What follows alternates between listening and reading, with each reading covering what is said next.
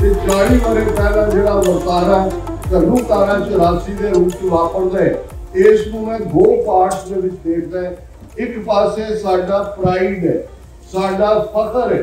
ਸੰਤ ਜਰਨੈਲ ਸਿੰਘ ਖਾਲਸਾ ਪਿੰਡਾਂ ਵਾਲੇ, ਜਨਰਲ ਸੁਬੇਗ ਸਿੰਘ, ਭਾਈ ਅਮਰੀਕ ਸਿੰਘ, ਉਹਨਾਂ ਦੇ ਦਰਜਨਾਂ ਸਾਥੀ ਸਿੰਘਾਂ ਨੇ ਜਿਵੇਂ 72 ਘੰਟੇ ਭਾਰਤੀ ਹਕੂਮਤ ਜਿਹੜੀ ਟੈਂਕਾਂ ਤੋਪਾਂ ਨਾਲ ਲੈਸ naval diver air force poisonous gas ਹਰ ਕਿਸਮ ਦੇ ਹਥਿਆਰਾਂ ਨਾਲ ਲੈਸ ਹੈ ਪਰ 72 ਘੰਟੇ ਉਹਨਾਂ ਨੂੰ ਨਾ ਸਿਰਫ ਰੋਕਿਆ, ਲੋਹੇ ਦੇ ਚਣੇ ਚਬਾਏ, ਦੁਸ਼ਮਣ ਦਾ ਜਰਨੈਲ, ਇਹ ਕਹਿਣ ਤੇ ਮਜਬੂਰ ਹੋਇਆ giving the adversary his due the fight to the last breath and bullet ਕਿ ਜਦੋਂ ਤੱਕ ਉਹਨਾਂ ਦੇ ਸਾਥ ਇੱਕ ਵੀ ਸਾਹ ਬਾਕੀ ਸੀ ਔਰ ਇੱਕ ਵੀ ਗੋਲੀ ਬਾਕੀ ਸੀ, ਉਹ ਜੂਝੇ, ਉਹ ਸਾਡਾ ਪ੍ਰਾਈਡ ਹੈ ਜਿਵੇਂ ਚਮਕੌਰ ਦੀ ਗੜੀ, ਜਦੋਂ ਸਾਹਿਬਜ਼ਾਦਾ ਅਜੀਤ ਸਿੰਘ ਸ਼ਹੀਦ ਹੁੰਦੇ ਨੇ ਸਾਹਿਬਜ਼ਾਦਾ ਜੁਝਾਰ ਸਿੰਘ ਸ਼ਹੀਦ ਹੁੰਦੇ ਨੇ, ਗੁਰੂ ਕੰਗੀਧਰ ਪਾਤਸ਼ਾਹ ਚਮਕੌਰ ਦੀ ਗੜੀ ਜੈਕਾਰਾ ਛੱਡਦੇ ਨੇ, ਜਿਵੇਂ ਅੱਲਾ ਯਾਰ ਖਾਂ ਯੋਗੀ ਨੇ ਪ੍ਰੀਵੀਅਸ ਨਾਈਟ ਦਾ ਜ਼ਿਕਰ ਕੀਤਾ ਸੀ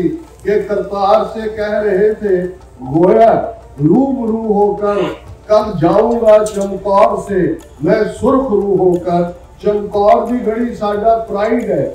ਜੂਨ 84 ਸੰਤ ਪਿੰਡਰਾ ਵਾਲੇ ਸਾਡੇ ਯੋਧਿਆਂ ਦਾ ਜੂਝਣਾ ਇਹ ਚਮਕੌਰ ਦੀ ਗੜੀ ਦਾ ਦੁਹਰਾ ਹੈ। ਪਰ ਉਹੀ ਵਾਕਿਆ ਜਦੋਂ ਨੂਰਾ ਮਾਹੀ ਸਾਹਿਬਜ਼ਾਦਾ ਜ਼ੋਰਾਵਰ ਸਿੰਘ, ਸਾਹਿਬਜ਼ਾਦਾ ਫਤਿਹ ਸਿੰਘ, ਮਾਤਾ ਗੁਜਰੀ ਜੀ ਦੀ ਸ਼ਹਾਦਤ ਦਾ ਸੁਣਾਉਂਦਾ ਹੈ, ਸ਼ਾਮ ਦਾ ਦੀਵਾਨ ਹੈ, ਰਹਿਰਾਸ ਹੋ ਕੇ ਹਟੀ ਹੈ ਖੁੱਲੇ ਦੇ ਵਿੱਚ ਦੀਵਾਨ ਸਜਿਆ ਤੀਰ ਦੇ ਨਾਲ ਗੁਰੂ ਕਲਗੀਧਰ ਪਾਤਸ਼ਾਹ ਖੇਡ ਰਹੇ ਨੇ, ਕਾਹੀ ਦੇ ਬੂਟੇ ਦੇ ਨਾਲ ਤੇ ਜੋਈ ਨੂਰਾ ਮਾਹੀ ਨੇ ਸ਼ਹਾਦਤ ਦੀ ਫਾਈਨਲ ਗੱਲ ਜ਼ਾਰੋ-ਜ਼ਾਰ ਹੋ ਕੇ ਦੱਸੀ, ਗੁਰੂ ਸਾਹਿਬ ਨੇ ਤੀਰ ਨਾਲ ਕਾਹੀ ਦਾ ਬੂਟਾ ਪੁੱਟ ਕੇ ਕਿਹਾ, ਮੁਗਲਿਆ ਰਾਜ ਦੀ ਜੜ ਪੁੱਟੀ ਗਈ।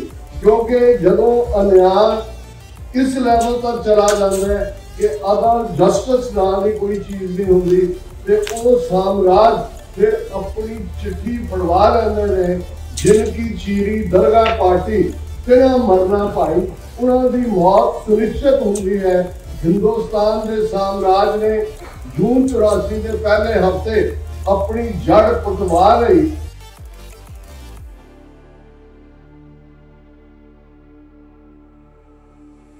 ਸੋ ਦਿਨ ਮਨਾਉਣ ਦਾ ਭਾਵੇਂ ਅਸੀਂ ਸ਼ਹੀਦੀ ਦਿਨ ਮਨਾਉਨੇ ਆ ਤੇ ਭਾਵੇਂ ਅਸੀਂ ਉਹ ਦਿਹਾੜੇ ਮਨਾਉਨੇ ਆ ਆਪਦੇ ਇਤਿਹਾਸ ਦੇ, ਉਹਦਾ ਮਤਲਬ ਇਹੀ ਹੁੰਦਾ ਕਿ ਦੂਜੀਆਂ ਕੌਮਾਂ ਨੂੰ ਨਹੀਂ, ਇਹ ਕੋਈ ਰਮਾਇਣ ਜਾਂ ਮਹਾਭਾਰਤ ਦੀ ਗੱਲ ਨਹੀਂ। ਜਿੱਥੇ ਨਾਟਕ ਕੀਤੇ ਜਾਂਦੇ। ਸੋ ਅਸੀਂ ਇੱਥੋਂ ਕੁਛ ਨਾ ਕੁਛ, ਕੋਈ ਸ਼ਕਤੀ, ਕੋਈ ਸੋਚ, ਕੋਈ ਜਜ਼ਬਾ ਗ੍ਰਹਿਣ ਕਰਕੇ ਚੱਲਣਾ ਤਾਂ ਕਿ ਅਸੀਂ ਆਪਦੇ ਮਿੱਥੇ ਹੋਏ ਨਿਸ਼ਾਨੇ ਵੱਲ, ਆਪਦੀ ਮੰਜ਼ਿਲ ਵੱਲ ਵੱਧ ਸਕੀਏ। ਤੇ ਨਿਸ਼ਾਨਾ ਸਾਡਾ ਇੱਕੋ ਹੀ ਹੈ, ਜੋ ਸਾਨੂੰ ਗੁਰੂ ਸਾਹਿਬਾਨ ਕਹਿ ਗਏ। ਜੋ 18ਵੀਂ ਸਦੀ 'ਚ ਸਿੱਖਾਂ ਨੇ ਇਤਿਹਾਸ ਰਚ ਕੇ ਦੱਸਿਆ, ਜੋ ਕਿਤਾਬਾਂ 'ਚ ਅੰਕਿਤ ਹੋ ਚੁੱਕਿਆ ਹੈ, ਕਿ ਅਕਾਲ ਪੁਰਖ ਤੋਂ ਬਿਨਾ ਖਾਲਸਾ ਕਿਸੇ ਵੀ ਦੁਨਿਆਵੀ ਤਖਤ ਤੇ ਦੁਨਿਆਵੀ ਤਾਕਤ ਅੱਗੇ ਨਹੀਂ ਝੁਕਦੀ। ਉਹਦਾ ਸਿਰ ਝੁਕੂ, ਸਿਰਫ ਅਕਾਲ ਪੁਰਖ ਇਸ ਕਰਕੇ ਜੋ ਇੱਥੇ ਅਕਾਲ ਤਖਤ ਸਾਹਿਬ ਦੀ ਸਥਾਪਨਾ ਹੋਈ, ਜਾਂ ਪੰਜਵੇਂ ਪਾਤਸ਼ਾਹ ਨੇ ਵੀ ਜੋ ਕੀਤਾ, ਜਿੱਥੇ ਆਇਆ ਸੱਚੇ ਪਾਤਸ਼ਾਹ ਦਾ ਇੱਕ ਸੰਕਲਪ ਆਇਆ, ਜਿਹਦਾ ਮਤਲਬ ਜੋ ਦੁਨਿਆਵੀ ਪਾਤਸ਼ਾਹ ਨੂੰ ਬਾਦਸ਼ਾਹ ਉਹ ਝੂਠੇ ਬਾਦਸ਼ਾਹ ਤੇ ਸਾਡੇ ਜਿਹੜੇ ਗੁਰੂ ਸਾਹਿਬਾਨ ਆ, ਉਹ ਸੱਚੇ ਪਾਤਸ਼ਾਹ ਉਹਨਾਂ ਦਾ ਤਖਤ, ਦਿੱਲੀ ਦਾ ਜਿਹੜਾ ਤਖਤ ਹੈ ਉਹ ਝੂਠਾ ਹੈ, ਉਹ ਜ਼ੁਲਮ ਦਾ ਪ੍ਰਤੀਕ ਹੈ। ਉਹ ਪਾਪ ਦੀ ਨਿਸ਼ਾਨੀ ਹੈ। ਜਿਹੜਾ ਅਕਾਲ ਤਖਤ ਸਾਹਿਬ ਹੈ, ਉਹ ਸੱਚਾ ਤਖਤ ਹੈ ਤੇ ਸਦੀਵੀ ਅਕਾਲ ਤਖਤ, ਜਿਹਨੇ ਜੁਗੋ ਜੁਗ ਅਟਲ ਰਹਿਣਾ ਹੈ। ਤੇ ਉਹ ਜਿਹੜਾ ਤਖਤ ਹੈ ਜੇ ਦਿੱਲੀ ਦਾ ਤਖਤ ਜ਼ੁਲਮ ਦਾ ਪ੍ਰਤੀਕ ਹੈ, ਤਾਂ ਸਾਡਾ ਤਖਤ ਜ਼ੁਲਮ ਨਾਲ ਟੱਕਰ ਲੈਣ ਦਾ ਪ੍ਰਤੀਕ ਹੈ। ਤੇ ਉਸੇ ਤੋਂ ਹੀ ਅਸੀਂ ਆਪਦੀ ਪ੍ਰੇਰਨਾ ਤੇ ਸ਼ਕਤੀ ਲੈਣੀ ਹੈ। ਸੋ ਇਹ ਜੰਗ ਚੱਲ ਰਹੀ ਹੈ, ਗੁਰੂਆਂ ਵੇਲੇ ਤੋਂ ਚੱਲ ਰਹੀ ਹੈ। ਤੇ ਹੁਣ ਵੀ ਜਾਰੀ ਹੈ, ਉਹਨਾਂ ਚਿਰ ਜਾਰੀ ਰਹੂਗੀ। ਜਿੰਨਾ ਚਿਰ ਅਸੀਂ ਗੁਰੂ ਸਾਹਿਬਾਨ ਦਾ ਜੋ ਸੁਪਨਾ ਸੀ ਕਿ ਧਰਤੀ ਦੇ ਉੱਤੇ ਰੱਬੀ ਨਿਜ਼ਾਮ ਸਿਰਜਿਆ ਜਾਵੇ। ਅਜਿਹਾ ਨਿਜ਼ਾਮ ਜਿਹਨੂੰ ਬੇਗਮਪੁਰਾ ਵੀ ਕਿਹਾ ਗਿਆ ਤੇ ਹਲੇਮੀ ਰਾਜ ਵੀ ਕਿਹਾ ਜਿੱਥੇ ਕਿਸੇ ਨੂੰ ਕਿਸੇ ਕਿਸਮ ਦਾ ਕੋਈ ਦੁੱਖ ਨਹੀਂ ਹੋ ਨਾ ਕਿਸੇ ਦੀ ਲੁੱਟ ਹੋਊ, ਨਾ ਜ਼ਬਰ ਹੋ ਨਾ ਕਿਸੇ ਤੇ ਕੋਈ ਦਾਬਾ ਹੋ ਸੋ ਅਜਿਹਾ ਰਾਜ ਸਿਰਜਣਾ ਸਾਡਾ ਮੰਜ਼ਲ ਹੈ ਸਾਡੀ ਤੇ ਕੌਮ ਉਧਰ ਨੂੰ ਵੱਧ ਰਹੀ ਹੈ। ਆਉਣ ਵਾਲਾ ਸਮਾਂ ਸਾਡੇ ਵਾਸਤੇ ਜਿੱਥੇ ਮੈਂ ਕਿਹਾ ਕਿ ਬਹੁਤ ਵੱਡੇ ਖਤਰੇ ਵੀ ਪਏ ਨੇ ਪਰ ਉਨੀਆਂ ਵੱਡੀਆਂ ਸੰਭਾਵਨਾਵਾਂ ਵੀ ਪਈਆਂ। ਮੰਜ਼ਿਲ ਜਦੋਂ ਨੇੜੇ ਆਉਂਦੀ ਹੈ ਉਦੋਂ ਖਤਰੇ ਵੀ ਵੱਧ ਜਾਂਦੇ ਨੇ ਤੇ ਸਾਡੀ ਮੰਜ਼ਿਲ ਵੀ ਬਹੁਤ ਨੇੜੇ ਆ ਜਾਂਦੀ ਹੈ। ਸੋ ਆ ਜਿਹੜਾ ਹੁਣ ਆਉਣ ਵਾਲਾ ਸਮਾਂ ਹੈ, ਥੋੜੇ ਸਾਲਾਂ 'ਚ, ਇਹਦੇ 'ਚ ਬੜੀ ਰੱਦੋ ਬਦਲ ਹੋਣੀ ਹੈ ਦੁਨੀਆ ਦੇ ਨਕਸ਼ੇ ਬਦਲਨੇ ਨੇ। ਬੜੇ ਸਲਤਨਤਾਂ ਢਹਿਣੀਆਂ ਜਿਵੇਂ ਪਹਿਲਾਂ ਇਤਿਹਾਸ 'ਚ ਹੁੰਦਾ ਆਇਆ। ਸੋ ਇਹ ਮੌਕਾ ਹੈ ਜਿਹਨੂੰ ਅਸੀਂ ਗ੍ਰੈਬ ਕਰਨਾ ਕਿ ਐਤਕੀ ਅਸੀਂ ਖੁੰਝਣਾ ਨਹੀਂ। ਪਹਿਲਾਂ ਅਸੀਂ ਖੁੰਝਦੇ ਰਹੇ ਹਾਂ। ਸੋ ਆਪਾਂ ਅੱਜ ਇਹੀ ਇੱਥੋਂ ਦ੍ਰਿੜ ਪਰਨ ਕਰਕੇ ਚੱਲੀਏ ਕਿ ਐਤਕਾਂ ਜੋ ਸਾਡੇ ਵਾਸਤੇ ਮੌਕਾ ਬਣ ਰਿਹਾ ਅਸੀਂ ਉਸ ਮੌਕੇ ਨੂੰ ਹੱਥੋਂ ਨਹੀਂ ਜਾਣ ਦੇਣਾ। ਪੰਜਾਬ ਦੇ ਵਿੱਚ ਆਕੂਪਾਈਡ ਆ ਭਾਰਤ ਸਰਕਾਰ ਵੱਲੋਂ। ਉੱਥੇ ਨਹੀਂ ਗੱਲ ਕਰਦੇ ਪਰ ਪੰਜਾਬ ਤੋਂ ਬਾਹਰ ਜਿੰਨੇ ਵੀ ਗੁਰਦੁਆਰੇ ਨੇ ਦੂਜੇ ਦੇਸ਼ਾਂ ਦੇ ਵਿੱਚ ਸਾਡੇ ਦੇਸ਼ ਤੋਂ ਬਾਹਰ ਉਹ ਸਾਰੇ ਗੁਰਦੁਆਰੇ ਮਿਸਲਾਂ ਵਾਂਗ ਕੰਮ ਕਰਦੇ ਨੇ। ਜਿਵੇਂ ਮਿਸਲਾਂ ਕੰਮ ਕਰਦੀਆਂ ਹੁੰਦੀਆਂ ਸੀ ਸਿੱਖ ਰਾਜ 'ਚ ਤੇ ਹੌਲੀ ਹੌਲੀ ਇਹ ਮਿਸਲਾਂ ਇਕੱਠੀਆਂ ਹੋ ਕੇ ਇੱਕ ਖਾਲਸਾ ਰਾਜ ਪ੍ਰਾਪਤ ਕਰਨਗੀਆਂ। ਲੰਬੇ ਸੰਘਰਸ਼ ਜਦੋਂ ਹੋਏ ਉਹਨਾਂ ਨੂੰ ਰਾਹ ਚੜਾਉਂਦੇ ਆ ਪਰ ਗੁਰੂ ਸਾਹਿਬ ਦੀ ਬੜੀ ਬੜੀ ਬਖਸ਼ਿਸ਼ ਆ ਸ਼ਹੀਦਾਂ ਦੇ ਡੁੱਲੇ ਹੋਏ ਖੂਨ ਦੀ ਬੜੀ ਬਖਸ਼ਿਸ਼ ਆ ਇਹਦੇ। ਸਾਡੀ ਜਿਹੜੀ ਸੰਗਤ ਆ ਲੋਕ ਕੈਨੇਡਾ ਵਿੱਚ ਜਿਹੜੀ ਰਹਿੰਦੀ ਆ ਸਿੱਖ ਸੰਗਤ ਉਹ ਹੁਣ ਬਹੁਤ ਜ਼ਿਆਦਾ ਐਜੂਕੇਟ ਹੋ ਚੁੱਕੀ ਆ ਸਾਡੇ ਸੰਘਰਸ਼ ਬਾਰੇ।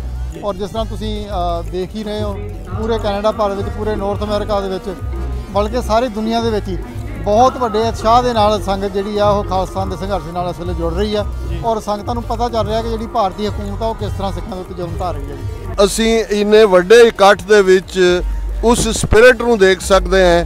ਚਾਰ ਚਫੇਰੇ ਖਾਲਿਸਤਾਨੀ ਝੰਡੇ ਫਜ਼ਾ ਦੇ ਵਿੱਚ ਖਾਲਿਸਤਾਨ ਜ਼ਿੰਦਾਬਾਦ ਔਰ ਗੁਰੂ ਗ੍ਰੰਥ ਸਾਹਿਬ ਦਾ ਫਲੋਟ ਜਦੋਂ ਸਵੇਰੇ ਬੜੇ ਹੀ ਪਿਆਰੇ ਢੰਗ ਦੇ ਨਾਲ ਸਜਾਇਆ ਗਿਆ ਸਾਹਮਣੇ ਆਇਆ ਤੇ ਜ਼ਾਰੋ ਜ਼ਾਰ ਸੰਗਤਾਂ ਦੀਆਂ ਅੱਖਾਂ ਵਿੱਚ ਪਿਆਰ ਦੇ ਅਥਰੂ ਵੀ ਸਨ।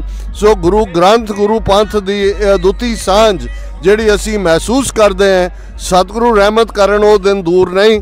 ਜਦੋਂ ਦਰਿਆਏ ਜਮਨਾ ਤੋਂ ਵਾਘਾ ਤੱਕ ਇੰਡੀਪੈਂਡੈਂਟ ਸਾਵਰਨ ਨੇਸ਼ਨ ਖਾਲਿਸਤਾਨ ਇੱਕ ਰਿਐਲਿਟੀ ਹੋਏਗਾ, ਅੱਜ ਅਸੀਂ ਉਸ ਜਲਵੇ ਨੂੰ ਇਸ ਸੰਗਤਾਂ ਦੇ ਇਕੱਠ 'ਚ ਵੀ ਦੇਖ ਸਕਦੇ ਹਾਂ। ਸੋ ਜੋ ਅਸੀਂ ਦੋ ਰੋਜ਼ ਤੋਂ ਦੇਖ ਰਹੇ ਹਾਂ, ਕੌਮ ਇਸ ਗੱਲ ਲਈ ਜੋ ਚਾਹ ਤੇ ਉਮਾ ਹੈ ਖਾਲਿਸਤਾਨ ਦੀ ਪ੍ਰਾਪਤੀ ਲਈ ਅਸੀਂ ਬਹੁਤ ਨਜ਼ਦੀਕ ਪਹੁੰਚ ਰਹੇ ਹਾਂ ਆਪਣੀ ਮੰਜ਼ਿਲ ਦੇ। ਗੁਰੂ ਬਖਸ਼ਿਸ਼ ਕਰੇ, ਆਪਾਂ ਜਲਦੀ ਹੀ ਉਹ ਦਿਨ ਦੂਰ ਨਹੀਂ, ਜਦੋਂ ਸਾਡੇ ਆਪ ਦੇ ਨਿਸ਼ਾਨ ਖਾਲਿਸਤਾਨ ਦੇ, ਆਪ ਦੇ ਮੁਲਕ ਦੇ ਨਿਸ਼ਾਨ ਝੁੱਲਣਗੇ।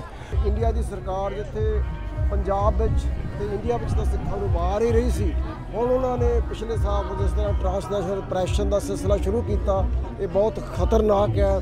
ਭਾਈ ਪਰਮਜੀਤ ਸਿੰਘ ਪੰਜਵੜ ਦਾ ਪਾਕਿਸਤਾਨ ਵਿੱਚ ਮਰਡਰ ਹੋਣਾ, ਭਾਈ ਅਵਤਾਰ ਸਿੰਘ ਖੰਡਾ ਦਾ ਮ- ਜਿਹੜਾ ਜੂਨ ਦੇ ਵਿੱਚ ਪਿਛਲੇ ਸਾਲ ਉਸ ਤੋਂ ਬਾਅਦ ਭਾਈ ਹਰਦੀਪ ਸਿੰਘ ਨਿੱਜਰ ਦਾ ਮਰਡਰ ਤੋਂ ਪ੍ਰਾਈਮ ਮਿਨਿਸਟਰ ਟੂਡੋ ਨੇ ਜਦੋਂ ਕੈਨੇਡਾ ਦੇ ਪ੍ਰਧਾ- ਪ੍ਰਧਾਨ ਮੰਤਰੀ ਸਾਹਿਬ ਨੇ ਕੈਨੇਡਾ ਦੇ ਪਾਰਲੀਮੈਂਟ ਵਿੱਚ ਖੜ ਕੇ ਇਨਸਾਫ਼ ਕੀਤਾ ਕਿ ਇਸ ਪਿੱਛੇ ਇੰਡੀਆ ਦੀ ਏਜੰਸੀਆਂ ਦਾ ਹੱਥ ਹੈ।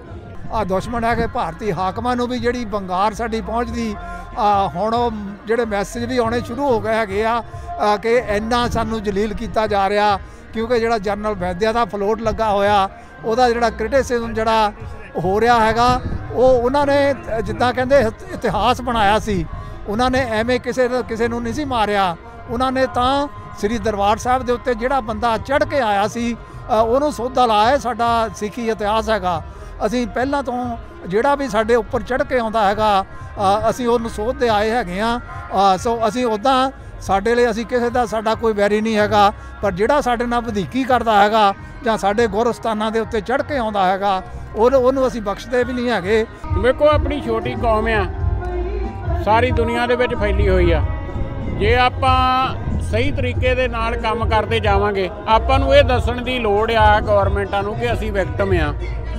ਹੁਣ ਤਾਂ ਸਾਹਮਣੇ ਆ ਗਏ, ਜੇ ਕਿਤੇ ਉਹ ਅਖਲ ਨਿਕਲ ਗੁਪਤਾ, ਜੀ, ਨਾ ਫੜਿਆ ਜਾਂਦਾ, ਤਾਂ ਮੈਨੂੰ ਆਮ ਆਪਣੇ ਸਿੱਖ ਲੀਡਰਾਂ ਨੂੰ ਇਹ ਹੈ ਵੀ ਉਹਨਾਂ ਨੇ ਜੋ ਜਿਸ ਰਫਤਾਰ ਨਾਲ ਉਹ ਆਪਣਾ ਸਾਰਾ ਕੁਝ ਕਿਰਦਾਰ ਭੁਲਾ ਕੇ ਇੱਕ ਮੁਲਕ ਇੱਕ ਟੈਰਰਿਸਟ ਕਾਰਵਾਈਆਂ ਕਰ ਰਿਹਾ ਸੀ। ਜੀ। ਉਹਨਾਂ ਨੇ ਹੋ ਸਕਦਾ ਹੋਰ ਵੀ ਕਿ ਨੁਕਸਾਨ ਸਾਡਾ ਕਾਫੀ ਹੋ ਜਾਂਦਾ। ਪਰ ਸਿੱਖਾਂ ਵੱਲ ਸਤਿਗੁਰ ਸੱਚੇ ਪਾਤਸ਼ਾਹ ਆਪਾਂ ਤਾਂ ਚੱਲਦੇ ਰਹਿਣਾ। ਤਾਂ ਬਹੁਤ ਨੇੜੇ ਆ ਵੀਰ ਜੀ ਸਾਰਿਆਂ ਨੂੰ ਆਪਾਂ ਨੂੰ ਪਤਾ ਵਾ ਆਮ ਬੰਦਿਆਂ ਨੂੰ ਪਤਾ ਨਹੀਂ ਬਹੁਤ ਕਲੋਜ਼ ਆਪਾਂ ਫਿਰਦੇ ਖਾਲਿਸਤਾਨ ਦੇ। ਜੀ। ਮੈਂ ਕਹਿੰਦਾ ਵੀ ਆਪਾਂ ਅਸੀਂ ਦੇਖ ਕੇ ਜਾਵਾਂਗੇ। ਕਿਉਂਕਿ ਸਾਡੀ ਹੁਣ 17 ਸਾਲਾਂ ਦੀ ਉਮਰ ਹੋ ਗਈ। ਫਿਰ ਵੀ ਹੁਣ ਦੇਖ ਕੇ ਜਾਵਾਂਗੇ ਪੰਜਾਂ ਚਾਰਾਂ ਸਾਲਾਂ 'ਚ ਕੁਛ ਨਾ ਕੁਛ ਹੋ ਜਾਣਾ। ਭਾਈ ਹਰਦੀਪ ਸਿੰਘ ਜੀ ਨਿੱਜਰ ਮੇਰੇ ਬਹੁਤ। ਕਰੀਬੀ ਦੋਸਤ ਵੀ ਸੀ, ਮੇਰੇ ਛੋਟੇ ਭਰਾਵਾਂ ਵਾਂਗੂ ਸੀ, ਇਕੱਠਿਆਂ ਰਹਿ ਕੇ ਸੇਵਾ ਕੀਤੀ ਆ। ਉਹਨਾਂ ਦੀ ਸ਼ਹਾਦਤ ਦਾ ਇੱਕ ਇੱਕ ਖੂਨ ਦਾ ਬਹਾਇਆ ਤਬਕਾ ਉਹਨੇ ਨਵੀਂ ਰੂਹ ਫੂਕ ਦਿੱਤੀ ਆ, ਜਿਹੜੀ ਇੱਕ ਆਪਾਂ ਤੁਕ ਤੁਕ ਪੜ੍ਹਦੇ ਹੁੰਦੇ ਸੀ ਨਾ, ਜਦ ਡੁੱਲਦਾ ਖੂਨ ਸ਼ਹੀਦਾਂ ਦਾ ਤਕਦੀਰ ਬਦਲਦੀ ਕੌਮਾਂ ਦੀ, ਉਹ ਪ੍ਰਤੱਖ ਰੂਪ ਵਿੱਚ ਅੱਜ ਦੇਖਣ ਨੂੰ ਮਿਲ ਰਹੀ ਆ। ਤੇ ਆਪਾਂ ਉਹ ਜੋ ਜਿਹੜੇ ਲੋਕੀ ਕੁਝ ਡਰਦੇ ਵੀ ਸੀ ਜਾਂ ਗੱਲ ਕਰਨ ਤੋਂ ਝਿਜਕਦੇ ਵੀ ਸੀ, ਉਹਨਾਂ ਦੀ ਸ਼ਹਾਦਤ ਤੋਂ ਬਾਅਦ ਅੱਜ ਹਜ਼ਾਰਾਂ ਦੀ ਤਾਦਾਦ ਵਿੱਚ ਘਰ ਘਰ ਦੀਪ ਜਗ ਪਏ ਨੇ। ਖਾਲਸਤਾਨ ਦੀ ਲੜਾਈ ਏਡੀ ਪ੍ਰਚੰਡ ਹੋ ਗਈ ਆ ਕਿ ਤੁਸੀਂ ਆਪ ਮੁਹਾਰੇ ਦੇਖ ਰਹੇ ਹੋ ਕਿ ਕੀ ਤੇ ਕੀ ਬਣਦਾ ਪਿਆ ਹੈ।